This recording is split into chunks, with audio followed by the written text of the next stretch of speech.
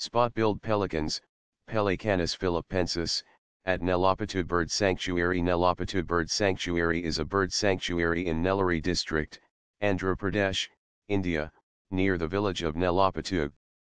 It is an important breeding site for spot-billed pelicans, Pelecanus philippensis. Nelapattu village Sarpanch B. Vijaya Bhaskar said that Flamingo festival done every year first or second week of January month. Before undertaking government of Andhra Pradesh local villagers protected the bird sanctuary. It will be better government of Andhra Pradesh to adopt the village to develop and protect bird sanctuary. Nelapattu has two major plant communities, Barringtonia swamp forests and southern dry evergreen scrub. Southern dry evergreen scrub covers most of the sanctuary, including the 288 hectares of Kalari reserved forest and 88 hectares of unreserved forest.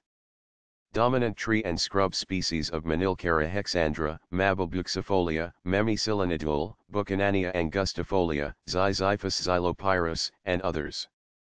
This tree also grows in uplands but the tree species found at Nelapattu can grow in flooded conditions lasting for 5 to 7 months at a stretch. The saplings can survive total submergence during the long duration of flooding.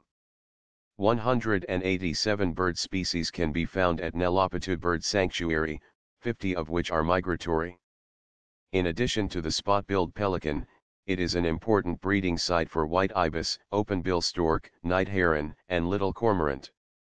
Other migratory water birds that visit the sanctuary include pintail, common teal, dabchick, shoveler, coot, spot-bill duck, gray heron, darter, black-winged stilt, and garganey gadwall.